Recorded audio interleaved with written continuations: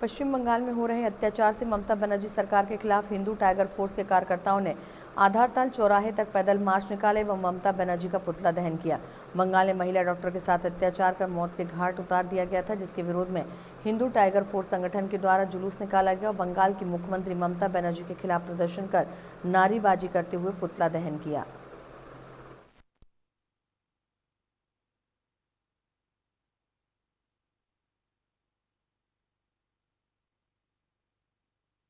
भी कर रही है।